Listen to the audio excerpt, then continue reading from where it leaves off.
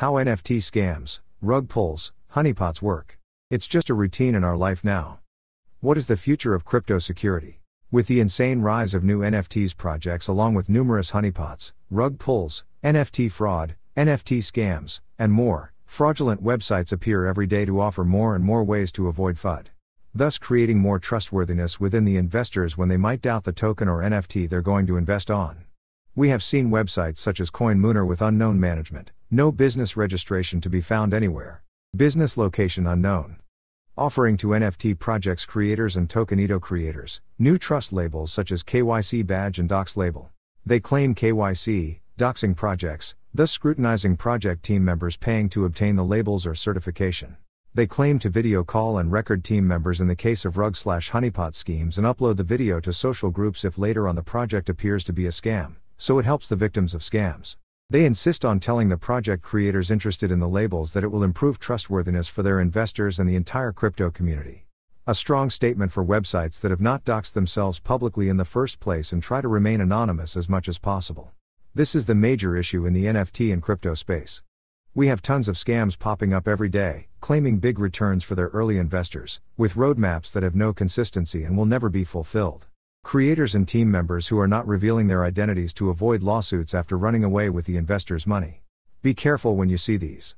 Websites such as Rug Free Coins, Coinscope, CertiK, and so many more offer security audits for token crowd sales, smart contracts, wallets, NFT projects, Ito, Eco, and much more while they are operating unknown businesses, we have zero details on them and no way of knowing who is behind such websites.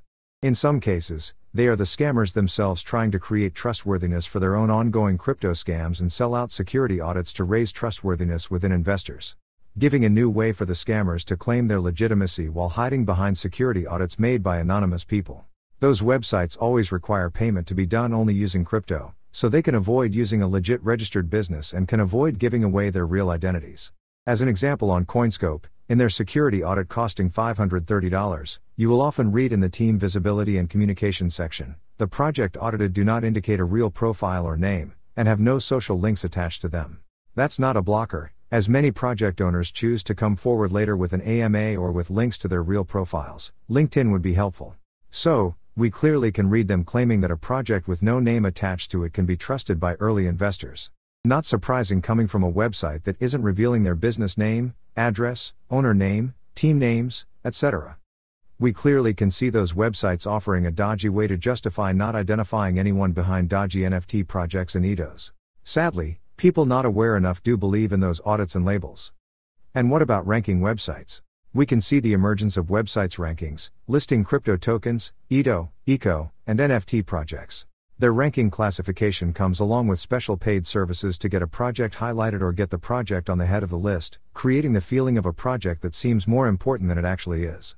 Following that, we saw the emergence of websites such as upvoteking.online, tokenpromoters.com, and many more, offering upvotes to get projects on top of a ranking list through fake votes. A website like CoinMooner also has a coin ranking page, and you can pay websites like Upvote King to upvote you on CoinMooner for a minimal price, as cheap as 12 cents per upvote.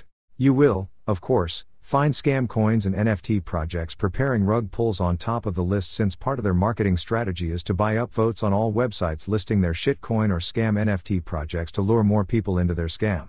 It's interesting to note that scam projects are often advertising on their social media, special contests to offer whitelist slots or airdrops for those who would upvote them on those ranking websites.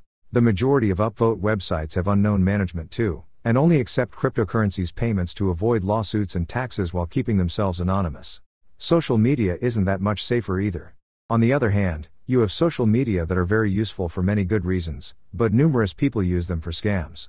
I am talking about Reddit, which is full of subreddits related to NFTs, many good subreddits, r slash NFT slash, but also numerous subreddits full of scams NFTs, tokens, Edo, etc. To name a few, r slash crypto moon, r slash safe moon slash, r slash crypto moonshot slash, r slash crypto mars slash, r slash altcoin moonshots, etc. Many of them have easily over 50k members and are offering paid advertising on their subreddits. The scam coins and upcoming rug pulls NFT projects can advertise their websites, Discord, Twitter, and other social media links to attract new investors. Those practices are part of a standard marketing strategy and can be considered legit when it regards legit projects, but the problem is the non existing scrutinization of those projects. Those subreddit creators care more about the money they can make than avoiding people getting scammed. Reddit seems to be totally careless about those subreddits, probably because it's creating a lot of traffic on their website. Once again, money makes the rules. What about Twitter? Let's talk about Twitter, which also has a big responsibility for the scams happening in the NFT space and crypto space. There are numerous Twitter accounts related to NFTs or cryptocurrencies, including some only made to advertise NFT projects, tokens, ETO, trading calls, etc. Twitter doesn't seem to care about preventing scams going on several accounts despite being proven and obvious. As an example, you have Twitter accounts at CryptoSynthashGet Strike Twit Stacking USD Etastrand and so many more. They offer paid retweets and mention of the NFT projects or token ETO. Most of them once again care more about the money than preventing their followers from getting scammed. Thus, they post constantly anything they get paid for, without checking anything. You have tons of tweets popping up all the time about Crypto Call Group claiming to make you rich in no time, heaps of NFT projects that will make you X 1000% returns in no time, heaps of token ETO claiming to be the next to the moon token, and so on. All of this is thrown into the face of millions of followers without any scrutinizing and often ends up with them being played for a fool, scammed, and having no path to justice. Since we do not have a Crypto and NFT police on the internet, you have a big chance of getting scammed. Scammers and their rug slash honeypot schemes are always one step ahead. It's not something new, and it takes a lot of effort and time to fight against them, spot them, track them down, and remove them from those social media platforms. So, is there anything we can do about it? We won't see any improvement until a strong collective of people gather together to create a crypto watchdog, preventing people from getting scammed, even to help them track down the scammers, finally offering them a possible justice. Some YouTubers and NFT artist agents like myself can raise awareness within the NFT community, thus helping people be more conscientious when looking at NFT projects or token, ETO, ECO, etc. There is a long way to go, so be careful out there. Join Discord NFT Watch. Dog.